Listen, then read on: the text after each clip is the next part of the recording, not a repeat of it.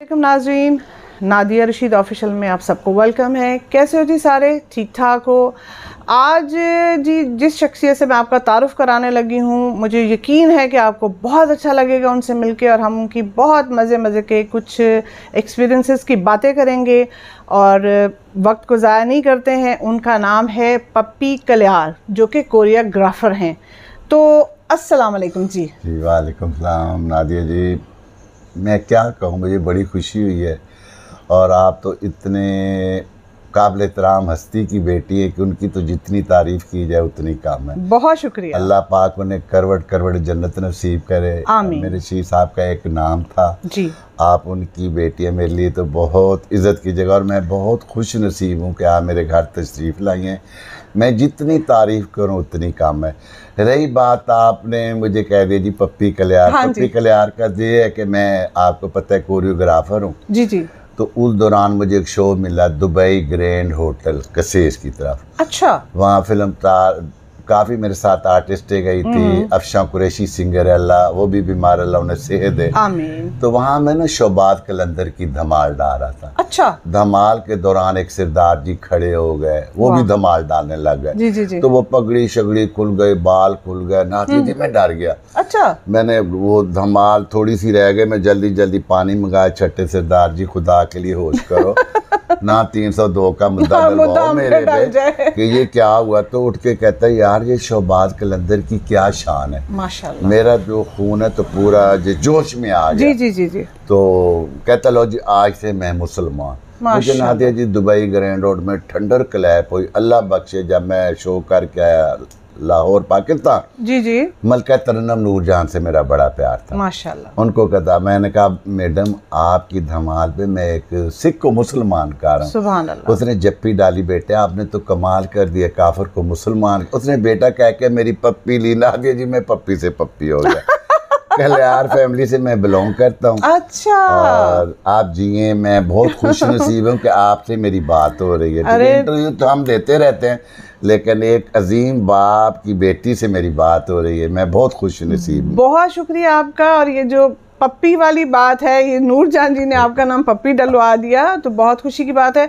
तो अब आप हमारे जो नाजरीन हैं उनको कोई अपना तजर्बा बताएँ। आपने मूवीज़ के लिए किन किन मूवीज़ के लिए दिया कोरियोग्राफर क्रैक किस किस हीरोइन के साथ किन किन हीरोज़ के साथ किन किन को अपनी उंगलियों पर नचाया ये कहें क्यों जी।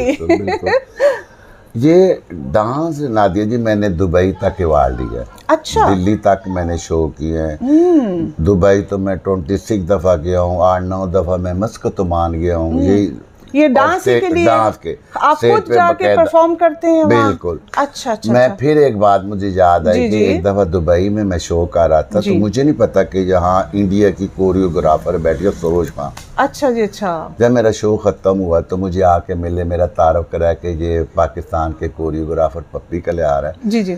तो सरोज खान खड़ी बिलीव करे मुझे नहीं याद कि ये कौन है। जी। तो उसने ना यूँ मेरे घुटनों को हाथ लगा के तो कहती है प्लीज़ आप एक स्टेप कर रहे थे स्टेज पे।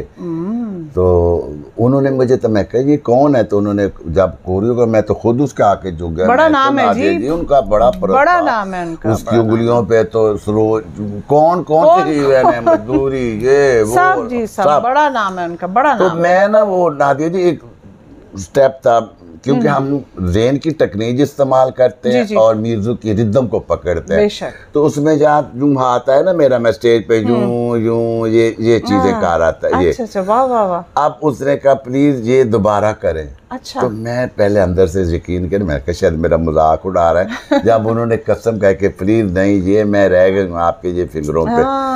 अब मैंने जब किया वो ही साजन फ़िल्म है उसने मधुरी से हाथ चलाया और मेरा माशाल्लाह अखबार में आ गए थे कि पप्पी कल्यार की चरबा इंडिया तक पहुँच। गई माशाल्लाह जी, उससे पूरा पूरे फिंगर नहीं चले जी जी उसने उसने दो उंगलियाँ एक- साजन में ये ये हाँ बिल्कुल मेरा ख्याल ऐसा स्टेप है उसका तो ये है कि मेरे उस्ताद थे अशरफ शरादी अल्लाह उनको भी जन्नत दे आमीन। जिनकी फ़िल्म था रीमा शागिर थी मैं उस उस्ताद का शागिर्द हूँ। अच्छा।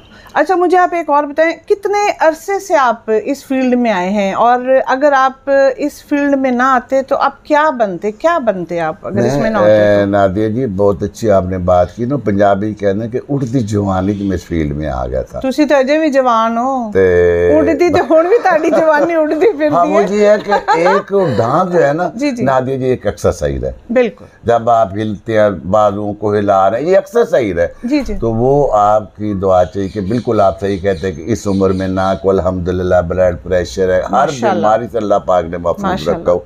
तो आप लोगों की दुआओं से कितने साल हो गए आपको पच्चीस तीस साल हो गए मुझे। माशाल्लाह इनका आप बिल्कुल यंग एज में आए जंग में और, और अभी तक के माशाल्लाह कर रहे हैं। बस तो मेरा ये कहते हैं कि कुल आजकल हमारी इंडस्ट्री में नई से नई लड़कियाँ आ रही हैं। बिल्कुल। पुरानियाँ अनजमन घर बैठ गए अल्लाह पाक उनकी ज़िंदगी बेशक। फ़िल्म स्टार आलिया जी का नाम था उनके तो मैं पाँव में बैठ जाऊँ तो वो भी काम है। माशाल्लाह जी बड़े सीनियर लोग अच्छा, हैं अच्छा। बड़े सीनियर लोग हैं दुर्दाना रहमान का नाम सुना है आपने। जी, ये जी। जितनी हीरोइन है अब वो घर हैं वो का अब यंग लड़कियों को डार है। जी।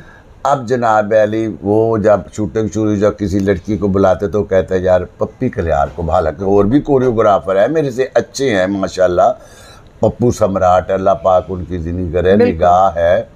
वो कहते हैं जी पप्पी कल्यार को बुलाओ उन्होंने कहा कि कहते हैं यार पप्पी कल्यार ते खोती ਨੂੰ ਵੀ ਨਚਾ ਲੈਂਦੇ ਨੇ जिस लड़की को स्टेप नहीं ना आते उनको भी बता लेते हैं तो आजकल ज़रा फिल्में कम हो रही हैं और पश्तो फिल्मों में भी अच्छा, करवा पश्तो में लेता भी हूँ आपने भी, किया है? उर्दू पंजाबी जितनी माशाल्लाह मतलब कोई काम अच्छा, ज़्यादा अच्छा, मेरे ज़्यादा बाहर के मुल्कों में शो अच्छा आप यानी कि अब मूवीज़ का खत्म करके शोज़ वगैरह ज़्यादा कर रहे हैं। जी हो गया। मूवी भी आ जाए मैं कर लेता हूँ। अच्छा, और उसके बाद शो भी आते तो वो भी करता हूँ। ज़ाहिर पेड़ लगा हुआ है वो हालात नहीं जो पहले थे ना दे जी आपको तो पता अल्लाह ताला हमारे मुल्क में आमीन। इत्तेफाक रखे मोहब्बत प्यार रखे। और तरक्की दे हमारे आमीन सुम सो नाजरीन बातें तो हम अगर सारा दिन सारी रात भी इनके साथ लगे रहें जितना इनका तजर्बा है वो कम हो जाता है। टाइम हमारे पास थोड़ा होता है। तो इसके साथ नाजरीन हम पप्पी जी से इजाज़त लेते हैं और मैं उम्मीद करती हूँ कि आपको ये प्रोग्राम अच्छा लगा होगा क्योंकि हमें तो ज़ाती तौर पर बहुत अच्छा लगा इनसे मिलके। अब आप लोगों ने अपने कमेंट्स के थ्रू बताना है कि पप्पी जी के साथ जो मेरी मुलाकात हुई है, वो आपको कैसी लगी है? चैनल को सब्सक्राइब कीजिएगा लाइक कीजिएगा शेयर कीजिएगा और अपने प्यार से भरमार कर दीजिएगा। अपनी बहुत सारी दुआओं में thank you very much love you जी। खुदा हाफिज़।